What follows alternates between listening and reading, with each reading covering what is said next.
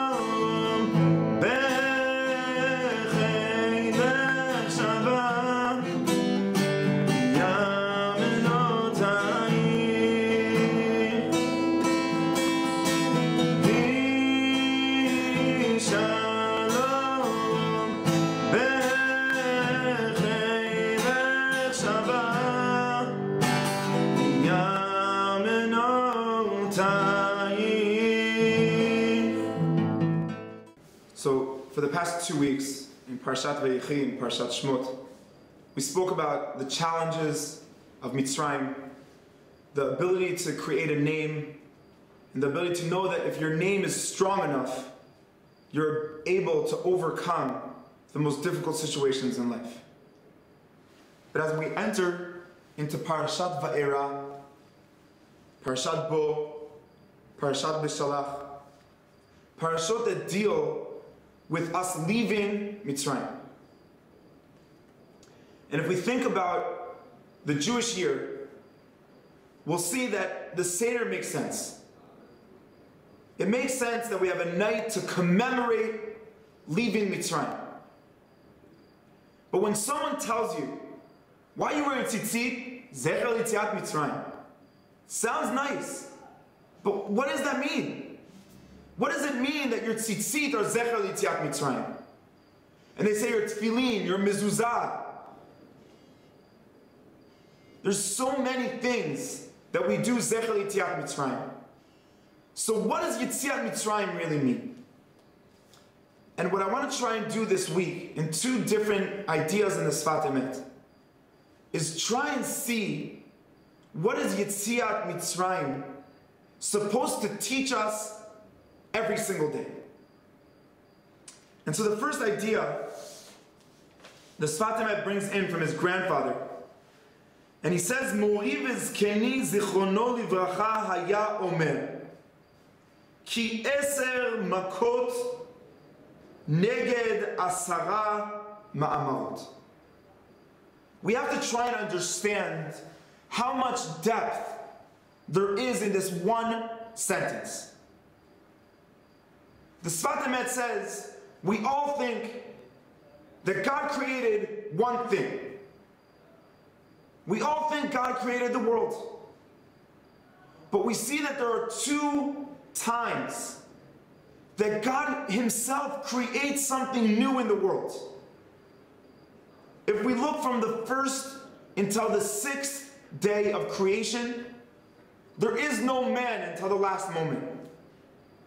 The beginning of the creation of the world is like the Ramchal says, Teva Hatov Lehitiv. Why did God create the world? Because He wanted to do good.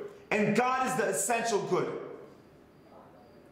But the incredible chidush the Sfat Emet brings from his grandfather is that God creates not one world, but two worlds. There's the physical world that God creates in Breshit, and there's a nation that God creates in Mitzrayim. And when God creates the nation in Mitzrayim, it's not, we're not participants. It doesn't come because we did so many great things. So true, we davened a little bit. True, we did one or two mitzvot. But if you looked at a Jew, the Jew looked like an Egyptian. We were mamish inside of Ubar Betoch Me'e Imo. We were solely connected to Mitzrayim. And God decides, I'm going to make a nation. I'm going to create people, not only a world. And that's a huge chidush. And where does he get the chidush from? How does God create the world? Through 10 sayings. Ten times it says, Vayomer Elokim, Vayomer Elokim Ihi, or Vayomer Elokim Naseh Adam Etzalmenu Kidmutenu. Ten times it says Vayomer. So says the grandfather of the Sfat Emet, so why are there Eser Makot? There should have been one. Because the Eser Makot are equivalent to creation. Because God did not create only a world, but He created people to perfect the world. And so this is one idea that connects between Yitziat Mitzrayim and Briat HaOlam. One idea that's saying that why is it so important to remember Yitziat Mitzrayim? Because Yitziat Mitzrayim is the biggest understanding that God says, I created a world that has a nation to bring that world to be a perfected world. I did not create a perfected world. I let it be in the hands of people that they should decide. Should the world be this way? Should the world be that way? And it's not up to always the nature of that God created. It's up to the way that you live. It's up to the way that you decide to look at every aspect of life. The second idea that Sfat Emet says is the first pasuk of Parashat Va'era is a very difficult one. The first pasuk says, "V'yidaber Elokim el Moshe." We know that the name Elokim is a din, a harsh way of God relating to the world, a strict way are relating to the worlds. So obviously, all the Parshanim, the Rashi, the Ramban, they're going to ask, why is God saying, Vayom Elokim? So they say, what just happened a moment ago? Moshe said, Lama hareota la'amazeh. So God gets angry. Vaydaber Elokim el Moshe. What do you mean, Lama Re'ot Alamas? I told you. Why are you yelling at me? Why don't you understand? But one moment later it says, Vayomer Elav Ani Hashem. And we know that the shame of Yudke Bavke is Rachamim. We see the same exact thing in Briat HaOlam. So says the Sfat Emet, Asher al ken כמו שמצינו בראשית הבריאה, עלה במחשבה לפניו לברוטו במידת הדין, וראה שאינו מתקיים, חזר ושיתף עמו מידת הרחמים. Says Rashi, according to Chazal, the Breshit Parak Aleph only has the Shem Elokim. Because that was the ideal idea, understanding. The world should be in Deen. And in Breshit Parak Bet, it says Hashem Elokim. Then he brings in the Midah of Racham. But here is such an incredible idea that the Sfat Emet understands from the Midrash in Vayikra. If in the creation of the worlds, what switched the Midah of Din to the Midah of Rachamim? God's perspective. God said, it can't just be deen. There has to be rachamim. So says the Sfat what happened in between the first part of the Pasuk and the second part? Why did Elokim change in Tashem?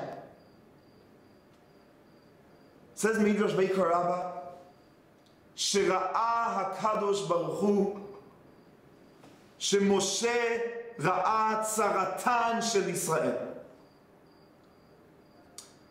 Hashem realizes that the same perspective he had when God created the world was the same perspective Moshe had when Hashem was starting to create a nation. He didn't look at the world like where in Breshit Hashem looks at the world, it says that Moshe looked at Am Yisrael. And because he looked at Am Yisrael, he yelled to God and he said, Ribono shel olam lama hareota la'am Because Moshe was saying I want a nation to be created. And in that moment, Hashem switches Midat Hadin to Midat Harachamim. So we saw from two places in the Sfat Emet. From the Asara Ma'amarot of the creation of the world, and the Asara Makot of Yitziat Mitzrayim. And we saw from the switch on Parak Aleph and Breshit to Parak Bet and Breshit that it switched from Elokim to Hashem. Also here it switches from Elokim to Hashem. But what does it mean?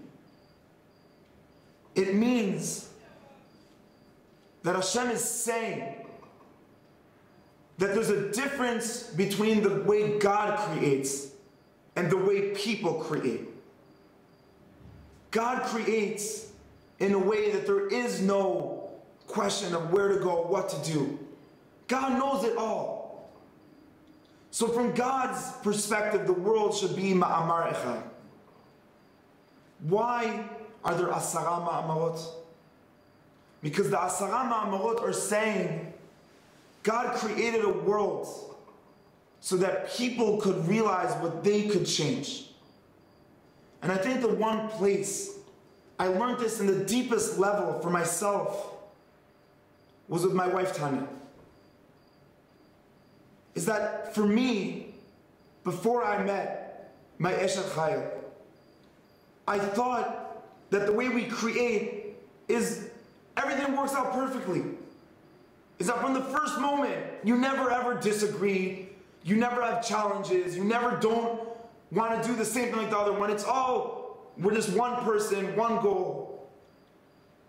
And Baruch Hashem, Hashem introduced me to the most amazing person in the world who has taught me that the true ahava is only built through asara ma'amarot or asara makot. It's that the ability of man to create is through consistency.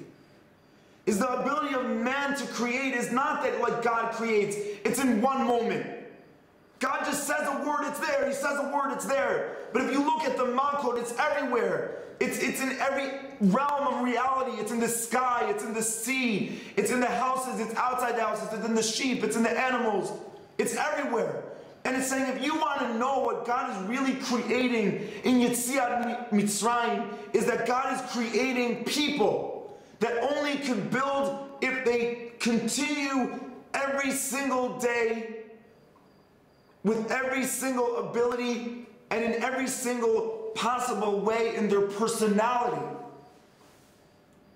to do it all the time, to try your hardest, to know that it's not something that happens fast. And I want to just finish the shiur with one sentence from Rav Riskin. And he said to me that many people speak about quality time with their children. And quality time means that if I get home from 7 at work, quality time is from 7 o'clock till 8 o'clock. Rav Riskin says it's not the quality, it's that the quantity is the quality. It's not that you put one hour. It's that you put as much time and every moment you have into the things that you care about. And that is quality. And that's why the Asara Makot are teaching us what truly is the building of the nation. The ability to know that if I care for something, I don't just do it once or twice. I continually do it every day. So we should have a bracha in our personal homes, in our personal lives, to know the things we care about, but to know that what God showed us is when we care about something, if we want to create it, if we want to create a relationship with our spouses, with our children, with the Torah, with our tefillah, it could only happen if we do it all the time with all our abilities. 十八次